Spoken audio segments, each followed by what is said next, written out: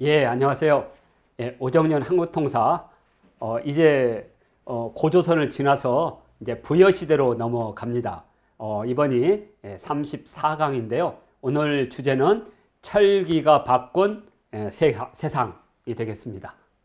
자, 예, 여기 어, 사진에 보면 이렇게 칼이 이렇게 길게 들여 있는데요. 예, 한자로는 환도대도라고 부릅니다. 예, 머리가 둥글다는 뜻이거든요. 예, 우리식 발음, 우리식 이름으로는 둥근 고리칼, 철기 시대를 대표하는 예, 검이 되겠습니다. 오늘 말 그대로 철기가 바꾼 세상입니다. 이제 고조선은 청동기 문명이 만든 예, 정치 권력이라면 이제 부여는 철기가 바꾼 세상입니다. 물론 우리 한국사의 통설이라고 부르는 거기는 철기를 가져온 세력이 부여가 아니고 위만으로 보고 있죠. 그런데 어, 그것이 얼마나 허구인지 예, 오늘 말씀드리려고 합니다. 그래서 철기가 바꾼 세상은 밑에 이렇게 쭉 나왔듯이 이런 변화들을 수반합니다. 철기의 가장 핵심은 철제 농기구입니다.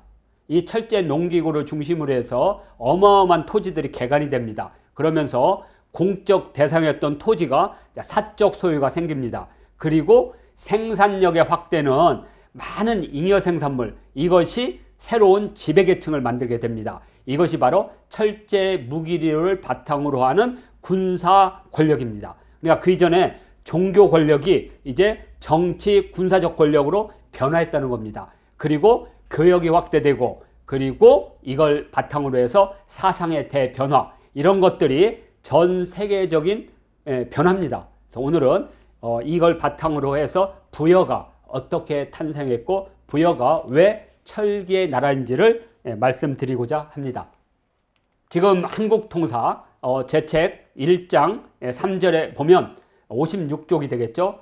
폭풍보다 거센 철기의 힘이라고 했습니다. 그래서 만주 지역과 한반도에서 철기 문화가 시작된 것은 서기전 7세기에서 서기전 5세기경이다. 우리 통설은 위만조선의 세력들이 철기를 가졌다 하면 어, 서기전 2세기에서 3세기를 넘지 못합니다. 그렇지만 현재 어, 중국에서 부여 공정을 하면서 상당수의 예, 부여 관련 유적이 발견됐는데 그곳에서는 대략 서기전 7세기에서 서기전 5세기경으로 보고 있습니다. 따라서 이때는 고조선 후기가 되겠죠. 그러니까 고조선의 전기와 중기는 청동기 문명이라면 고조선 후기는 철기 시대가 되는 거죠. 그리고 이때 예, 단유 세문경이 어, 단유 조문경이 단유 샘경으로 발전하겠죠. 자, 어, 또 하나는 어, 이승유가 지은 제왕 운기에 보면 예, 고조선의 뒤를 이어 약 70여 개의 나라가 들어섰다고 하고 있습니다. 그러면 이 70여 개는 뭐냐? 그 이전에는 이런 조그만 나라들을 부족 국가라고 했던 겁니다. 그래서 우리나라는 예, 국가를 세우지 못하고 있다가 이런 부족 국가들이 중국의 식민지인 한사군의 영향으로 예, 고대 국가로 발전했다는 것이 통설이었어요. 철저한 식민사관에 입각한 고대 국가의 기원이겠죠. 이것은 예, 말이 안 된다.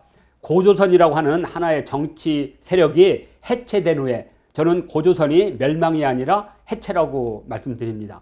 고조선의 연합국가가 이제 해체된 겁니다. 구심체가 사라지면서 그러면서 그 구심체의 중심으로 부여계가 등장을 하고 각 지역에는 작은 소국들이 이제 어, 개별적으로 등장을 하고 있다가 이런 나라들이 연합을 하겠죠. 제왕문기에서는 거의 70여 개 나라가 했고 그러한 70여 개 나라의 많은 백성들이 보따리를 싸들고 좀 더 살기가 어, 좋은 남쪽으로 내려와서 마한 진한 변환을 세우게 되죠. 그래서 예전에 단재 신채호 선생이나 어, 천관호 선생은 이것을 후삼, 후사만이라고 불렀습니다. 그러니까 고조선은 전사만이고 지금 우리가 역사에서 배우는 마한 진한 변화는 후사만이다.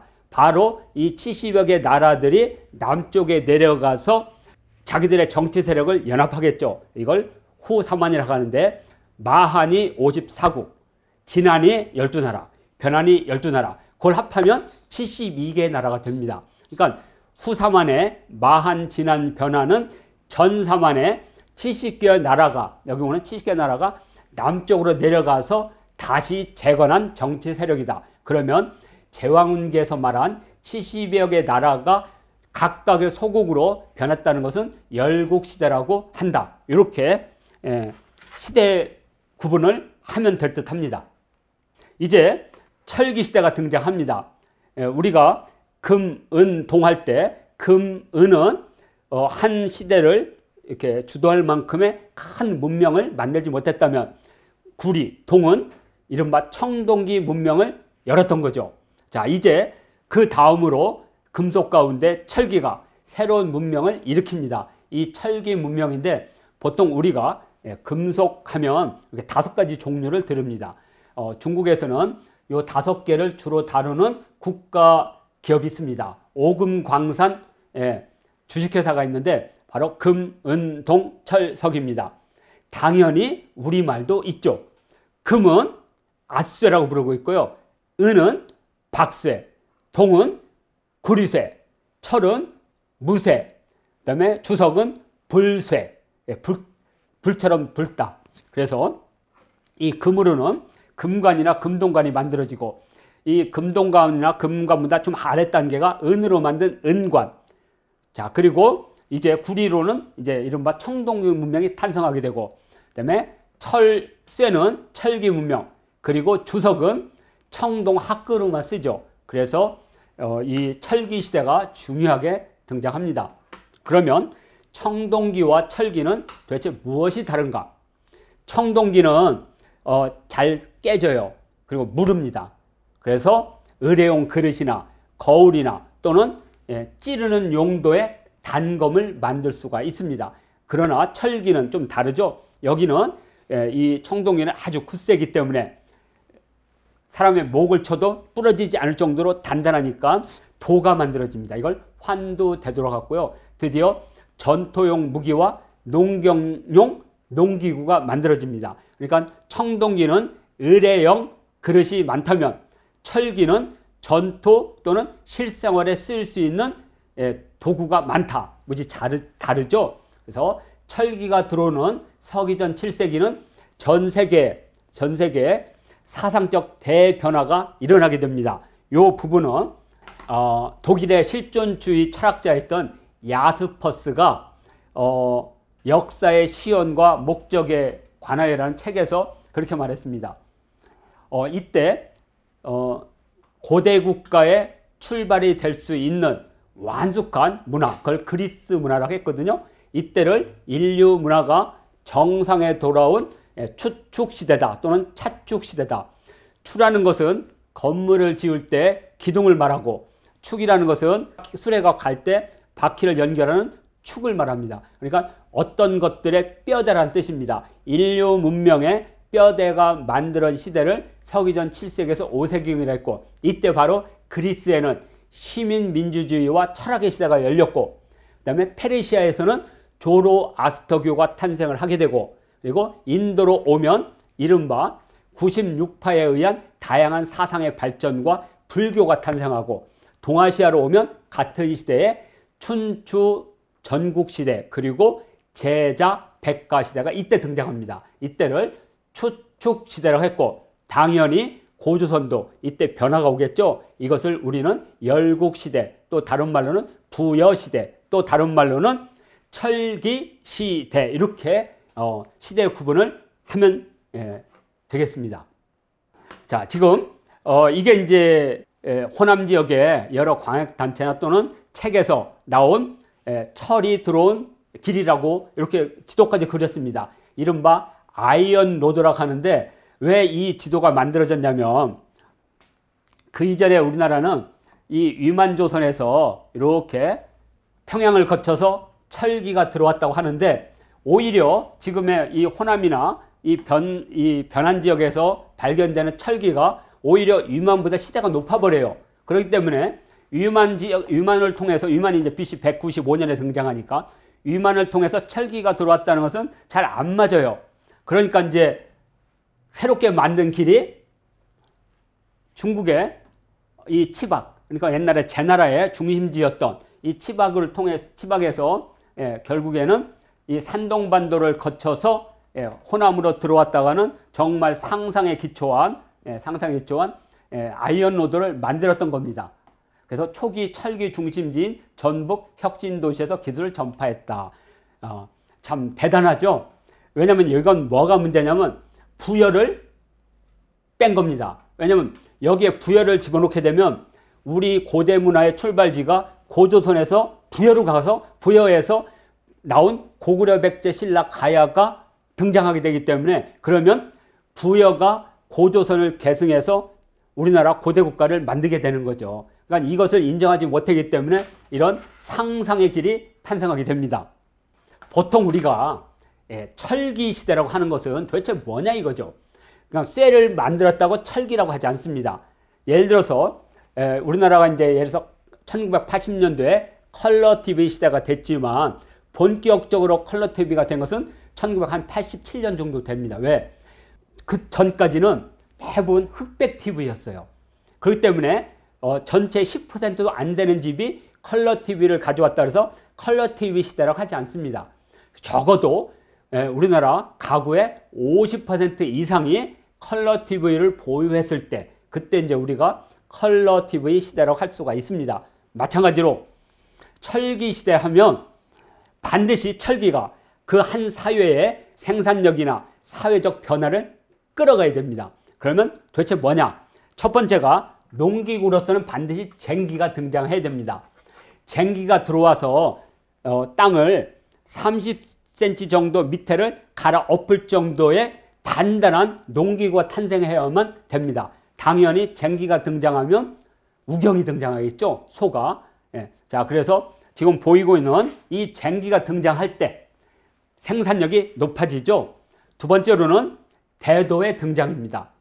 청동 단검은 짧은 이유가 청동기가 갖고 있는 성질이 무지 어, 약하다 그랬죠. 그래서 청동기로는 땅땅하기가 쉽지 않습니다. 그래서 청동기의 청동 단검의 주요 목적은 목이나 허벅지나 가슴을 찌르는 용도라면 이 대도는 막 80cm, 90cm 정도 됩니다. 그래서 손에다가 자 잡고 요 고리와 손목 사이를 이렇게 예, 끈으로 완전히 묶은 후에 이걸로 말을 타고 달리는 속도로 사람의 목을 치거나 예, 허리 같은 걸 치는 용도입니다. 그래서 이것을 도라고 부릅니다. 그러니까 도하면 부엌칼을 생각하시면 돼요. 그래서 한 면은 단단하게 하고 한쪽 면을 난로해서 어떤 목적물을 절단할 때 쓰는 게 도입니다. 그러니까 검은 찌르는 용도, 도는 자르는 용도. 그래서 이렇게 어, 외날칼이 나옵니다. 어, 부여의 어, 동단산 서단산 유적에서는 한 무덤에서 63자루의 대도가 나옵니다. 이미 예, 여기 이제 보이는 이 도입니다. 이 도가 예, 부여에서 주로 출토되는 형태의 예, 환도 대도입니다. 그리고 이제 말이 전투력을 가지려면 바로 말발굽이 말발굽이 쇠로 바뀌어야 됩니다. 이 웬만하면 500km에서 800km 되는 말이 시속 80km 달린다고 생각하세요. 지금의 아스팔트가 아닌 상황에서 초원도 아닙니다. 초원에 가면 많은 돌들이 있어요. 그래서 그 정도 속도로 달리면 말은 저 말발 발굽이 전부 발톱이 다 깨집니다.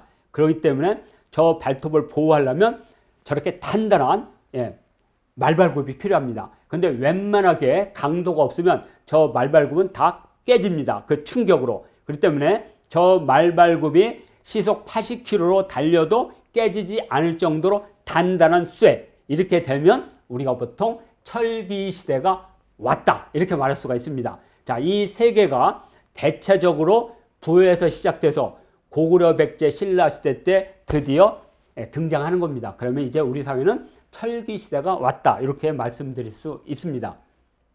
이제까지 한국 철기 문명의 기원은 어, 연나라 출신 위만이 가져온 거로 되어 있습니다. 자, 그런데 위만이 오던 시대, 위만이 여기 와 있는 이 시대는 여기가 한국식 동검이 출토되는 지역입니다. 그러니까 위만이 이곳에 와서 철기 문화를 꽃피웠다는 것은 말이 안 되는 겁니다. 자, 어, 그리고 위만이 들어온 데가 서기전 195년, 서기전 2세기인데 이때 이미 한반도 남부에는 철기가 등장해버려요.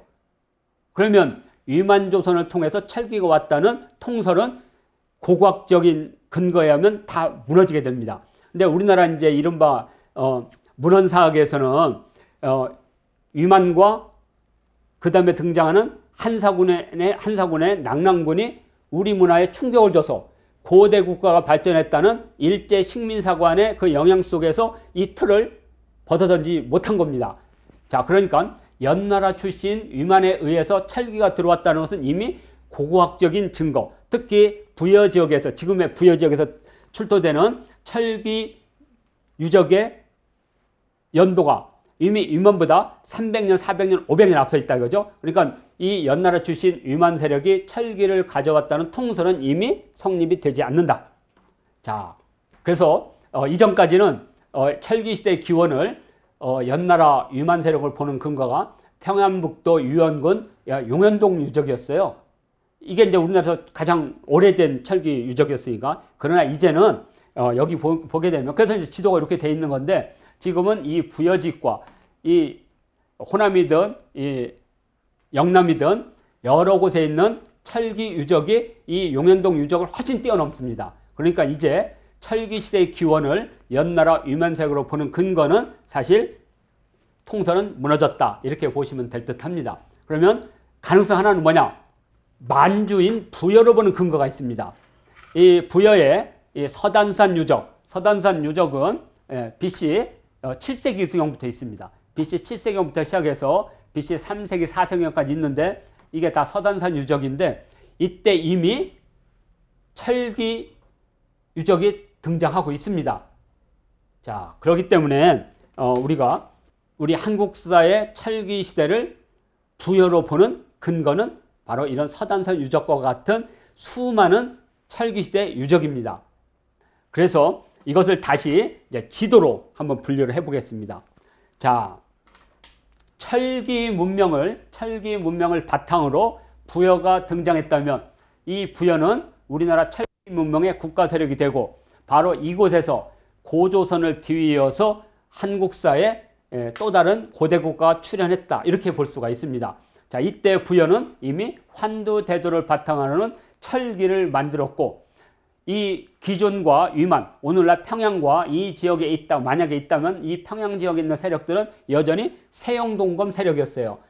여기서 위만 세력이 오면서 점점 철기가 등장합니다. 그러면 BC 1세기에서 AD 1세기경에 여기는 철기가 된 거고 이미 부여는 BC 3세기 이전부터 철기가 있었습니다. 자, 그리고 어, 이 사만 지역, 이 사만 지역은 마제석검이었어요. 마제석검이 출현하다가 AD 2세기, 3세기경에 철기가 등장합니다. 그러면 철기가 등장하는 시대가 부여가 가장 빠르고 그 다음에 위만이 그, 그 다음이고 그 다음에 이 변한 세력 여기는 마제석검이었는데 변환이 변환이 만일 고조선에서 고조선 세력이 해체되면서 왔다면 그 고조선 세력의 한 일부는 부여로 갔고 일부는 변환으로 온 거죠. 따라서 이 변환 지역의 철기는 이 오늘날 평양 지역의 철기보다 훨씬 발전되고 이런 시기가 되겠죠.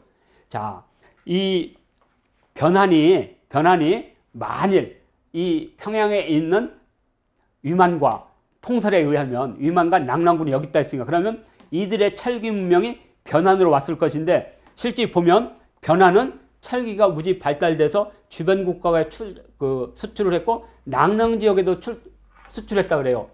그러니까 어, 중국의 한나라와 한사군인 낙랑군이 철기 문명을 바탕으로 상당히 발달이 돼 있었는데 오히려 거기서부터 철기 문화를 가진 변환이 거꾸로 수출했다. 이건 논리적으로 맞지가 않은 거죠.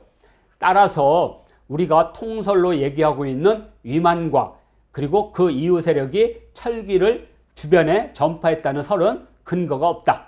그래서 위만 정통론은 사실 말도 되지 않는다. 고조선을 뒤이어서 예, 철기 문명은 부여로 갔고 그 부여가 이 문명을 바탕으로 해서 고대 국가를 이뤘는데 그 고조선이 해체된 많은 세력들을 많은 세력들을 일거에 통합을 하지 못하고 그 세력들이 남쪽으로 가서 남쪽으로 가서 마한, 변한, 진한으로 형성했는데 그 가운데 마한과 진한보다는 변한이 빠르게 철광산을 발굴하고 철기를 만들어서 주변 국가에 전파했던 거고 부여에서 다시 갈라오져 내려온 고구려 백제 신라 가야가 이 마한진한 변환을 정복하면서 여기는 삼국이 되는 거고 여기는 부여에서 고구려로 세력 교체가 이루어진 겁니다. 따라서 이 부여가 철기 문명을 바탕으로 했다는 것은 고조선 부여 그리고 고구려 백제 신라 가야로 정통성이 계승됐다는 것. 그렇게 되면 어, 준왕과 유만을 중심으로 하는 우리나라 통설의 정통성은 전혀 근거가 없다고 이렇게 말씀드릴 수가 있습니다.